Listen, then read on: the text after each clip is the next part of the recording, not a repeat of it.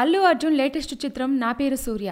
ఈ cinema satellite digital rights కలుపుకొని మొత్తంగా ఇరవై నాలుగు పాయింట్ ఏడు కోట్లకు అమ్ముడుపోయాయి. అల్లు అర్జున్ కెరీర్లోనే ఇది భారీ రికార్డ్. ఈ సినిమా శాటిలైట్ హక్కులను జీ తెలుగు వారు సొంతం చేసుకున్నారట.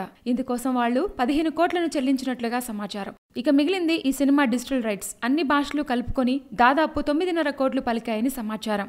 అను ఇమ్మాన్యుయల్ హీరోయిన్గా నటిస్తున్న ఈ చిత్రానికి విశాల్ శేఖర్ మ్యూజిక్ అందిస్తున్నారు. వకంత వంశీ దర్శకత్వం వహిస్తున్న ఈ సినిమా ఏప్రిల్ ఇరవై ఏడున ప్రేక్షకుల ముందుకు రానుంది Please subscribe. Hi, it's me Purna. Please subscribe.